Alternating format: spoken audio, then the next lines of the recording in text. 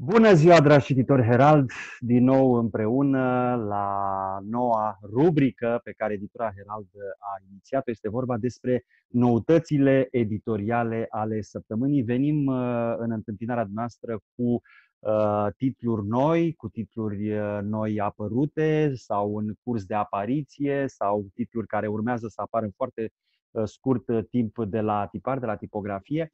Așa că editura Herald a inițiat uh, această rubrică pe lângă cărți deschise pentru minți deschise, avem și această rubrică uh, de noutăți, noutățile editoriale ale uh, săptămânii. Astăzi vom vorbi despre un uh, personaj uh, remarcabil uh, și despre o carte uh, remarcabilă. Uh, este vorba despre Opus Paramirum, Principiile Artei Medicale de Paracelsus, o carte publicată în colecția Quinta Esenția editurii Herald în traducerea lui uh, Alexandru Angel. Uh, Paracelsus, un personaj cu totul și cu totul uh, fabulos. Pentru publicul român, Paracelsus este mai ales cunoscut pentru scrierile sale despre alchimie, însă geniul acestui autor, pe cât de misterios, pe atât de clar și riguros, a adus o serie de contribuții și în domeniul medicinei. Paracelsus, printre altele, este considerat părintele toxicologiei moderne, el fiind primul care a pus în discuție efectul exercitat de substanțe asupra corpului uman, susținând în premieră utilizarea substanțelor chimice și a mineralelor în uh, medicină. Uh, astăzi uh, vom vorbi alături de Cristian Vechiu, lector la Fundația Calea Victoriei și cercetător în istoria religiilor, Uh, despre, pentru că uh, Cristian uh, a mai susținut cursuri la Fundația Calea Victoriei, printre altele și despre personalitatea și scrierile lui Paracelsus și astăzi el ne va ajuta cumva să intrăm în sau pe tărâmul acestui personaj fascinant, Paracelsus, câteva cuvinte despre personalitatea lui, dar și despre opera pe care el a lăsat-o posterității. Bună! Uh, mersi pentru invitație și mă bucur că putem discuta despre acest personaj cu totul remarcabil, după cum spuneai. Uh, face o deosebită plăcere pentru că orice renascentist îl încadrez ca un uh, renascentist uh, târziu pe Paracelsus și ca orice renascentist avem de-a face cu, cu un uh, gânditor uh, incredibil care era preocupat de subiecte extrem de variate, de la alchimie, hermetism, la medicină, uh, după cum spuneai, și astrologie. Uh, și asta completează cumva, uh, după cum o să vedem, un, un portret complex pentru acest personaj numit, supranumit Paracelsus. Pentru că Paracelsus era un, un pseudonim sau un supranume. Uh, e și aici o mică controversă. O să vedem că personajul e foarte controversat. Bun, Paracelsus uh, probabil că uh, deja uh, cititorii Herald și uh, cei care sunt obișnuiți cu subiectul uh, acesta al alchimiei, uh, dar și al, uh, al studiilor renacentiste, știu că s-a născut în, în, într-un spațiu germanic, în Elveția de astăzi, uh, a studiat medicina uh, cu ajutorul tatălui său, Uh, la început, mai apoi uh, a fost, uh, a fost învățăcel la Universitatea din Ferrara, unde și-a absolvit studiile, dar un alt maestru important al lui Paracelsus a fost Abate Tritemius, cel care a mai mentorat un interesant al meștrii pe Cornelius Agripa, și la scurt timp după ce și-a absolvit, și-a absolvit cursul la Universitatea din Ferrara, a început să călătorească.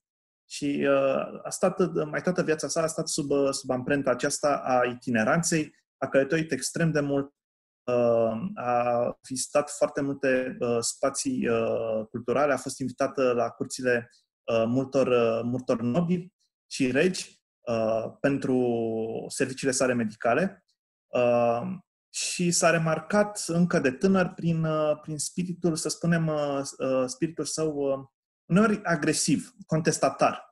Uh, trebuie spus că s-a născut într-o perioadă în care uh, apăruse, uh, de fapt, să se nască, să apară reforma, iar s-a născut în 1493, câțiva ani mai târziu, 20 ceva de ani mai târziu, uh, are loc uh, mișcarea, uh, mișcarea protestantă, uh, inițiată de Martin Luther, uh, îmbrățișează protestantismul și totodată și o parte din caracterul, uh, să zicem, contestatar al, al mișcării protestante. În scrierile sale va dovedi acest, acest spirit, să spunem, combativ, așa cum, cum a dovedit-o și Luther. De multe ori fiind asemănat ca un, cu Luther și fiind, fiind pomenit ca un fel de Luther al alchimiei sau al medicinei, tocmai pentru că avea spiritul acesta combativ.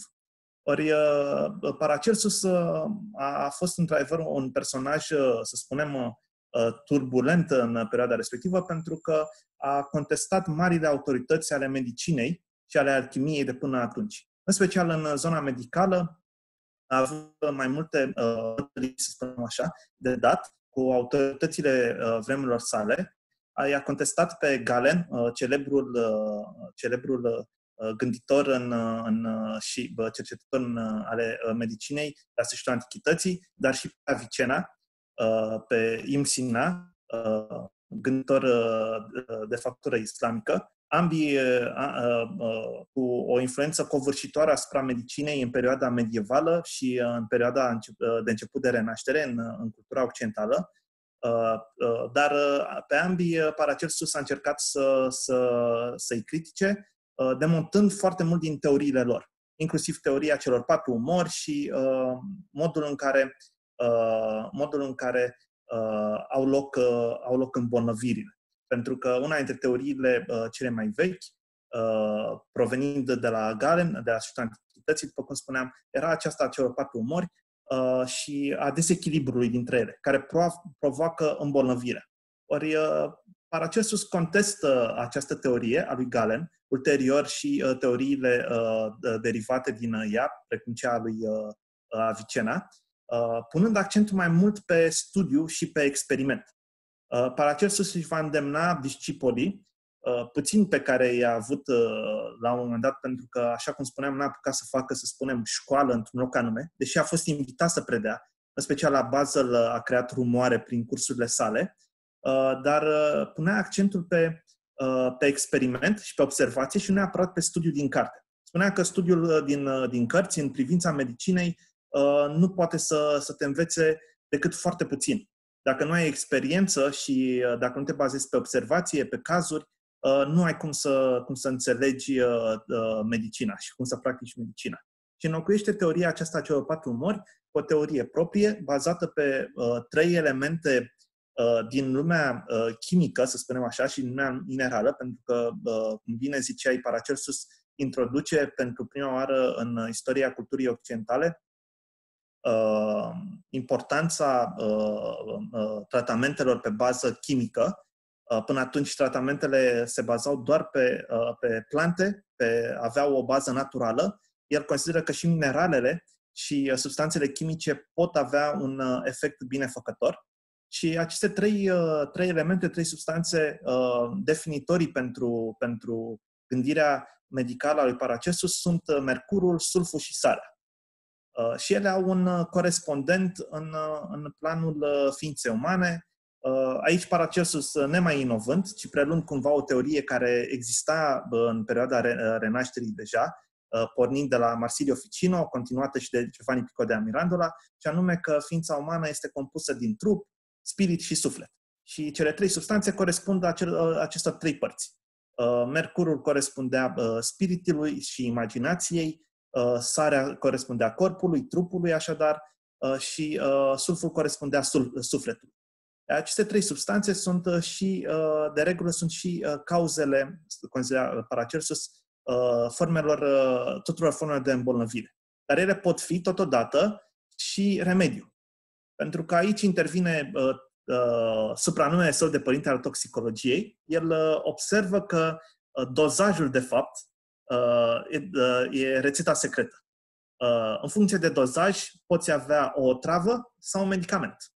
Și încă o dată am putea spune că nu e nimic nou nici aici, pentru că uh, grecii în antichitate aveau un concept numit farmacos, de unde și cuvântul farmacie, în limba română, și farmacos putea fi totodată uh, un, uh, un, să spunem, uh, o travă, dar și un tratament, pentru că și acolo exista această teorie a dozajului. Dacă iei ingerezi prea mult dintr-o plantă, să spunem, din, uh, din beladona, de exemplu, s-ar putea să ai stări halucinogene și chiar să mori. Dacă e foarte puțin, s-ar putea să-ți, uh, să-ți uh, calmeze o nevroză.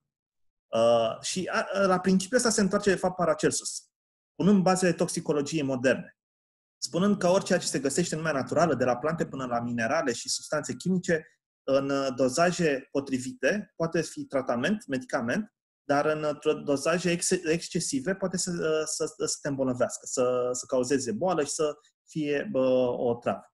Iar asta este o, o teorie de bază a medicinei lui, lui Paracelsus. Medicina la Paracelsus s-a îmbinat de cele mai multe ori cu alchimia și cu astrologia. Evident, Paracelsus este un punct de referință în istoria medicinei moderne, de la sfârșitul renașterii odată cu Paracelsus ne îndreptăm spre modernitatea în, în lumea medicinei, dar el rămâne totuși un produs al renașterii și asta înseamnă că era atras de atât de teoriile alchimiei cât și de astrologie și hermetism. Și pune toate aceste trei discipline la oaltă cu medicina, susținând că există o, o legătură între macrocosmos și microcosmos. Că tot ceea ce este sus afectează și ceea ce este la nivel uh, planetar, la nivel uh, teluric, ceea ce este jos. Și că există o corespondență între astre și germeni. Iată un punct foarte interesant. El are chiar un fragment uh, în una dintre scrierile sale care spune în felul următor. Uh, există uh, milioane de astre, mii și mii de astre, la fel cum există pe pământul nostru mii și mii de germeni. Ce vrea să spună afirmația asta e că astrele au o influență directă asupra tuturor substanțelor, vizibile sau invizibile, de pe Pământ. El ne fiind un, un fatalist în sens astrologic, spunând, ne susținând că bă, astrele ne determină viața, traseul, destinul, și doar ne influențează. Și uh, teoria asta uh, va, va fi, se va regăsi și în tratatele sale de medicină. Ma- majoritatea scrierilor sale uh, au uh, această dublă valență, alchimică și medicală totodată. Uh, pentru că, așa cum spuneam, uh, era interesat de, de uh, uh, studierea acestor discipline, uh, dar nu într-un, uh, într-un mod uh, separat, ci mai degrabă încercând să îmbine elemente uh, care să ofere o perspectivă de ansamblu, o perspectivă generală asupra ființei umane. Uh, fiind totodată, uh, Paracelsus fiind totodată și cel care uh, probabil a pus bazele teoriei uh, psiho, uh, psihosomatice spunând că uh, există cazuri de îmbolnăvire care nu provin neapărat de la ceva ce are natură materială, ceva ce ai consumat uh, sau care nu provin dintr-un organ anume, ci sunt mai degrabă la nivel emoțional. Uh, e un defect al imaginației, spunea, uh, al emoției, spunea Paracelsus. Și asta e o teorie care iarăși a făcut carieră în istoria medicinei moderne, uh, provine de la Paracelsus. Bun, mare parte din toate teoriile astea le regăsim în uh, Opus Paramiru. Asta este bă, cumva bă, ceea ce bă, ar trebui să știe cititorii atunci când vor căuta cartea.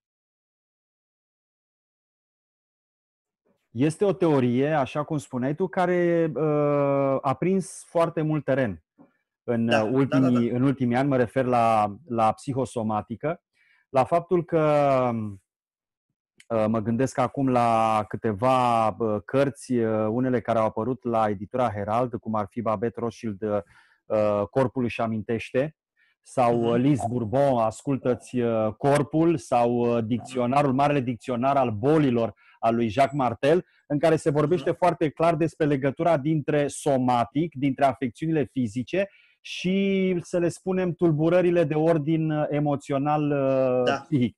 Și chiar, da, da, da. chiar există o întreagă teorie referitoare la aceste afecțiuni asupra organelor. Faptul că uh, când vorbim de ficat, avem corespondent în uh, emoția în furie, când vorbim mm. despre rinichi uh, în altceva, când vorbim despre piele, bolile de piele, epidermă, vorbim despre lipsa afecțiunii sau îmbrățișării sau a contactului fizic, despre plămâni. Deci fiecare are un, un corespondent. Iar făcând o glumă apropo la ce spuneai tu uh, la începutul intervenției noastre, la materialul nostru, prima dată când am auzit de um, numele lui Paracelsus, uh, primul gând apropo de farmacologie și de medicină, primul gând uh, m-a dus la paracetamol. da, da, da, da, da, da. E, e, e bună gluma. Uh, trebuie, spune, trebuie să spunem, până la urmă, dacă tot uh, am discutat atât despre supranumele ăsta al lui, uh, trebuie să spunem că el se numea Teofrastus Bombastus von, von uh, Hohenheim. Uh, ăsta era numele său. uh, provenea, se pare, dintr-un, uh, dintr-o familie care avea o linie nobiliară. De fapt, tatăl său se pare că ar fi fost uh, un uh, copil din flor al unui nobil. Nu avea uh, statut uh, de nobil, dar uh, ținea la acest nume al său de uh, factură nobiliară. Uh, iar Paracelsus e un supranume pe care se pare că și l-a luat destul de târziu, prin 1528, când a ajuns în Franța, în Colmar, uh, un orășel foarte frumos de altfel. Iar acolo prietenii, fie prietenii au spus, fie el s-a supranumit Paracelsus, cel care este uh, peste sau deasupra uh, lui Celsus, Celsus fiind un, uh, un, uh, un medic, un doctor, uh, uh, un vindecător din uh, secolul I uh, uh, din Imperiul Roman. Uh, foarte uh, recunoscut, uh, de altfel, în toată antichitatea, dar și în Evul Mediu.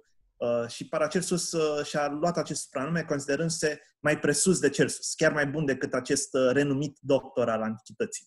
Uh, cert este că uh, nu a folosit numele acesta decât foarte târziu în, uh, în semnarea tratatelor sale, în semnarea scrierilor sale. Nici nu a, a scris atât de mult. Multe dintre uh, scrieri care ne-au parvenit de la Paracelsus sunt, de fapt, uh, semnate de discipolii săi care au luat notițe bazate pe, uh, să spunem, cursurile sau învățăturile uh, susținute de Paracelsus. Spuneam că a ajuns uh, la un moment dat și în bază, la acolo unde a fost invitat, a ținut și cursuri și a scandalizat audiența pentru că la un moment dat de, de uh, ziua Sfântului Ioan, dacă mă bine, uh, a ars în, pia- în, în fața uh, universității unde era chemat să susțină cursurile, uh, a ars tratate de Galen și de Avicena, spunând că gata, trebuie să terminăm cu superstițiile și cu prostiile, noi trebuie să facem știință. Evident, trebuie să ținem cont de cuvântul ăsta știință și de bă, implicațiile pe care le avea acest, acest termen în, în renaștere. Pentru că, așa cum am văzut, Paracelsus implica discipline care astăzi nu mai sunt considerate științifice. Hermetism, astrologie, alchimie. Dar, totodată, el deschide cumva medicina spre o zonă, spre o zonă experimentală, bazată și pe observație, pe experiență, pe studiu Uh, direct și uh, asta uh, înseamnă că deschide medicina și spre perioada ei uh, modernă și spre ceea ce uh, numim astăzi mai degrabă știință și nu uh, pseudoștiință. Uh, în Opus Paramirum, uh, el uh, continuă, așa cum spuneam, să dezvolte teoria acestor trei elemente importante, sulf, mercur și sare, care sunt, uh, se fac responsabile de Uh, bolile pe care uh, le, le pot avea uh, ființele umane, dar totodată pot reprezenta și sursele unor tratamente. Tot acolo dezvoltă o altă teorie interesantă și anume că foarte multe dintre bolile care, care apar pe parcursul vieții noastre sunt rezultat, rezultantul unei, unui proces alchimic interior. Spuneam că el era pasionat de alchimie și amesteca asta cu medicina, nu doar în sensul studierii unor substanțe chimice, precum sulful sau mercurul, uh, dar și în sens uh, cumva simbolic, dacă vreți, metaforic. El crea o analogie între, uh, între modul în care acționează alchimistul în laboratorul său, distilându-și tot felul de substanțe chimice pentru a căuta piatra filozofală sau substanța nemuririi, crea această analogie așadar cu modul în care acționează organele noastre. Organele noastre Uh, acționează în mod similar, distilând ceea ce noi consumăm, ceea ce mâncăm. Uh, ori uneori uh, aceste alimente sau lucruri pe care noi le consumăm, pe care noi le mâncăm, nu sunt suficient distilate de, de organele noastre. Sau ceea ce rămâne în urma procesului de distilare este fix substanța care ne provoacă o boală, pe care el o numește tartru. Hai să o traducem așa. E o, o depunere, dacă vreți. E o rămășiță. E ca și cum uh, uh, avem de-a face cu uh, un soi de calcar. Toată, toată, toată această terminologie poate fi uh, echivalată pentru că uh, în privința uh, procesului de distilare știm, uh, știm bine că uh, rămân întotdeauna niște reziduri. E, aceste reziduri, dacă vreți, startul, calcar, cum vreți să, să le numiți, toate acestea uh, sunt, uh, sunt uh, cele care provoacă uneori boli uh, și dezechilibre care duc la uh, alterarea stării și condiției noastre fizice. Și uh, în opus paramirum, uh, Paracelsus susține, susține aceste teorii, încearcă să le demonstreze bazându-se pe, evident, și pe exemple, pe exemple pe care, evident, le, le preia din experiențele sale proprii. Așa cum spunea, el punea foarte mult accentul pe ideea aceasta de experiment și de lucru, lucru cu, efectiv cu pacientul și nu doar pe uh, rețete preluate dintr-o, dintr-o carte anume sau din, uh, din manuale de medicină care uh, uh, circulau la, în perioada respectivă, fie de, de la Galen, fie de la Avicena. Uh, s-a, s-a remarcat foarte mult, așa cum spuneam, și prin faptul că a fost un, uh, un gânditor itinerant, a călătorit foarte mult, a ajuns în Egipt, a ajuns în Imperiul Otoman, uh, se pare că ar fi ajuns și în uh, Israel, Uh, s-a înrolat în armată ca medic, ca medic pe front uh, și acolo a, uh, a căpătat o experiență grozavă pe teren. Cumva șocat de atrocitățile care se întâmplau în urma războiului și de rănile grave cu care rămâneau foarte mulți dintre soldați, a încercat să schimbe foarte mult din practicile medicale de la acea vreme, punând bazele și idei, dacă vreți, Uh, sau conceptului de aseptic. Uh, până atunci, de pildă, dacă bă, aveai o rană, era, bă, uh, se considera că e important să o, o acoperi, să o blămă, bălmăjești, cum se spune băbește, cu o tinctură, cu un amestec de bă, fecale de, de, bă, de, de vite sau cu bă, nu știu ce bă, substanță prelua, făcută din, din plante și așa mai departe. Ori Paracelsus uh, uh, combate ideea asta, combate toate ideile astea, spunând că rana trebuie lăsată deschisă, cumva, să respire și să nu pui alte substanțe care ar putea să, să, să uh, provoace uh, o infectare și mai mare. Că infecția nu poate fi combătută cu, uh, cu uh, astfel de substanțe care sunt puse peste rană, pentru că do- aceste substanțe doar sporesc, uh, sporesc infecția.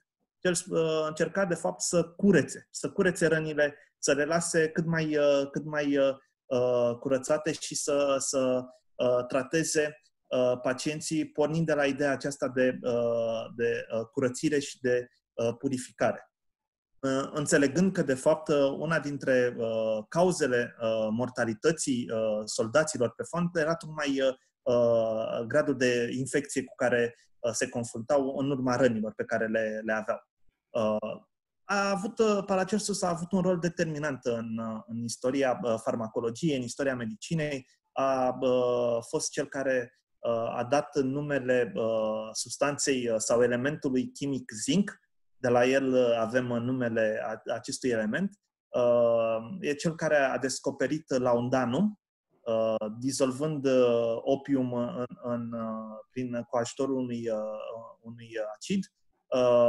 Este cel care Uh, a încercat să, să trateze sifilisul în vremea respectivă altfel decât uh, se făcea în acel moment. În perioada respectivă, sifilisul era adus din Caraibe, apăruse în Europa prin uh, aceste schimburi făcute, schimburi culturale făcute în perioada respectivă de către colon, colonialiști. Și în perioada respectivă, singurul tratament era o scoarță de copac. Uh, ori uh, Paracelsus spune, asta este o prostie, uh, asta nu e un tratament real, uh, e nevoie de ceva mai mult de atât. Și uh, încearcă tratamente pe bază de mercur și laudanum, uh, care uh, se vor perpetua. Rețetele sale se vor perpetua și mai târziu. Chiar dacă nu erau atât de eficace, ele aveau un, uh, cel puțin un, uh, uh un anumit efect benefic, și anume uh, înlăturau starea, starea de rău, uh, înlăturau starea de, uh, de durerea. Uh, era un analgezic bun. De altfel, uh, laundanum a fost uh, până spre secolul al XIX-a, început de secolul 20, cel mai bun analgezic pe care îl aveau medicii la îndemână, pornind tocmai de la această descoperire a lui Paracelsus. E un personaj complex tocmai pentru că, așa cum spuneam, s-a opus autorităților din domeniile în care a profesat, dar a încercat întotdeauna să, să ofere soluții proprii Uh, și a fost uh, avocatul uh, sau susținătorul, dacă vreți, acestor două practici de bază pentru medicina modernă. Observație și exper- experiment. Experiență pentru că nu poți, nu poți să, să te bazezi doar pe partea teoretică, trebuie să ai la îndemână și o, parte, și o parte, parte practică. Paracelsus Uh, s-a mai remarcat și prin faptul că a scris uh, mare parte din uh, tratatele sale în limba uh, nativă, în limba germană. Ori ăsta uh, era un act, uh, să spunem, uh, destul de uh, uh, curajos la vremea respectivă, care încerca să emuleze ceea ce făcuse Luther în uh, plan religios, prin uh, propunerea traducerii uh, Bibliei în limbile native. Uh, asta a încercat să facă și Paracelsus, spunând că, de fapt, nu e nicio nevoie să scrie în limba latină, uh, uh, oamenii pot înțelege la fel de bine uh, aceleași lucruri și în germană și în latină, ca și în franceză sau în engleză și așa mai departe.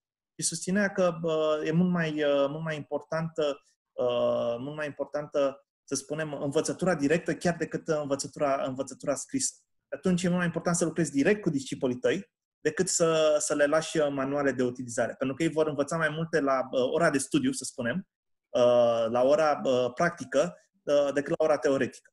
Uh, Paracelsus, așa cum spuneam, uh, s-a, s-a remarcat uh, pe mai multe uh, discipline, pe mai multe domenii, uh, dar uh, a rămas uh, foarte cunoscut, în special după, după moartea sa în timpul vieții a fost contestat, puternic contestat, pentru că el însuși era un personaj destul de uh, turbulent. Uh, îi plăcea să intre în, uh, în tot felul de dispute. Uh, nu se ferea de asta. Uneori recunoștea că uh, e așa o fire mai uh, dificilă și că poate el nu e atât de educat și atât de diplomat precum sunt uh, alți cărturari ai vremii sale, uh, dar uh, uh, totodată nici nu se ferea să intre în aceste dispute. Cumva avea și talentul să le caute.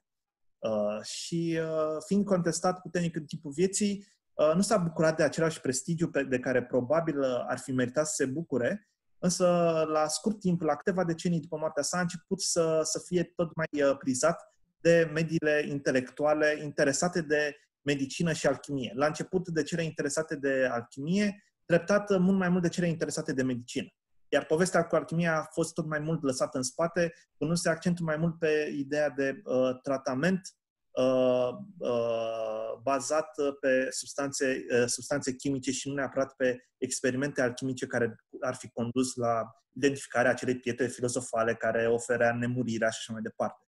Uh, așa cum era, uh, de fapt, uh, sau își propunea, de fapt, alchimia în perioada medievală și în începutul uh, renașterii. Uh, în uh, Opus uh, Paramirum uh, întâlnim foarte multe dintre, dintre ideile, de, ideile fundamentale ale lui Paracelsus. Mulți consideră această lucrare, deși relativ scurtă, să spunem, o consideră ca fiind una dintre, dintre lucrările de căpătie ale lui Paracelsus, pentru că uh, e uh, o lucrare ce dovedește maturitatea intelectuală uh, acestui personaj. Uh, în, uh, odată cu Opus Paramirum, uh, intrăm practic în, în deplină maturitate a lui uh, Paracelsus. Uh, toate tratatele care vor urma după, această, după Opus Paramirum uh, nu fac nimic altceva decât să, uh, să dezvolte idei uh, pe care Paracelsus le, le, le înfățișează în, în acest text. Și, uh, cu alte cuvinte, am putea uh, considera această lucrare ca fiind una dintre cele mai importante din, uh, din opera lui Paracelsus, cu atât mai interesantă și, zic eu, binevenită este traducerea acestui text.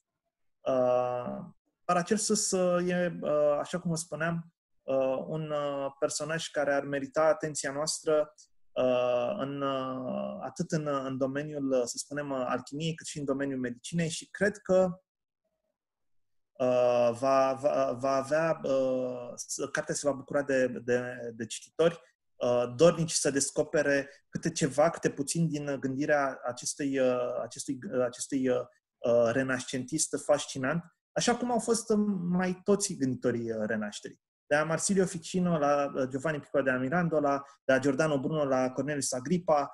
Uh, mai toți gânditorii renașterii au avut acest caracter, uh, să spunem, heterodox, îmbinând discipline diverse, variate, teorii tot, metafizice, spirituale, cu unele, să spunem, mai degrabă practice sau preștiințifice.